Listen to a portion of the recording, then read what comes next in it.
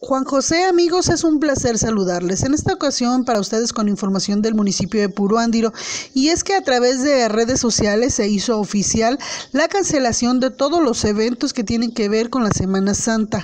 En Puruándiro, pues bueno, hay una representación que congrega pues a toda la población. En el municipio tiene una comunidad, Villachuato, que también cuenta con una actividad, una feria con motivo de la Semana Santa que es muy popular en la región y que tiene una participación muy importante de los migrantes en cuanto a pirotecnia, pues esta también ha sido ya cancelada, Juan José, y también el patronato del Señor de la Salud que estaba pues ya programando las actividades que tienen que ver con la bajada de la imagen del Señor de la Salud el primer sábado del mes de mayo, esta actividad también fue ya cancelada.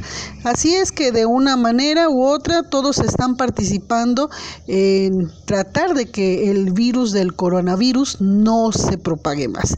Así es que, pues bueno, todos a sus casas y este será ciertamente una Semana Santa para guardar y meditar. Desde el Bajío Michoacano, informa Perla Marina Espíndola.